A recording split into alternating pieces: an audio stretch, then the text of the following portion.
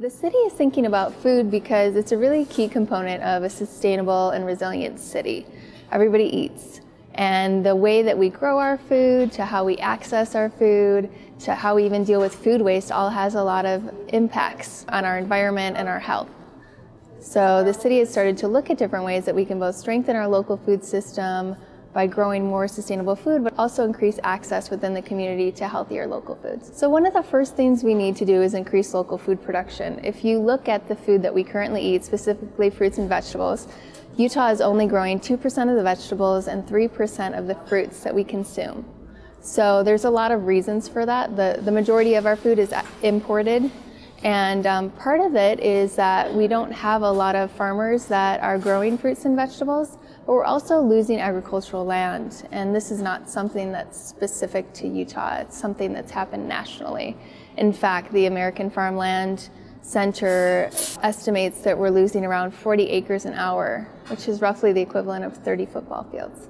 So we need to figure out innovative ways to not only grow food locally, but also to look at how we're protecting existing agricultural lands. A program we just initiated was the Local Micro Grant Fund.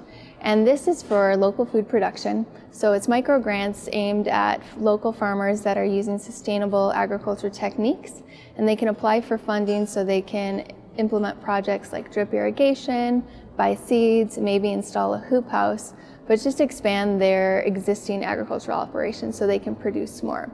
We also just identified a parcel of land that we're putting out to bid to see if we can get a farmer to lease that property. And the reason we're doing that is because the city has some parcels that are not currently being used for anything and maybe have a weed management problem.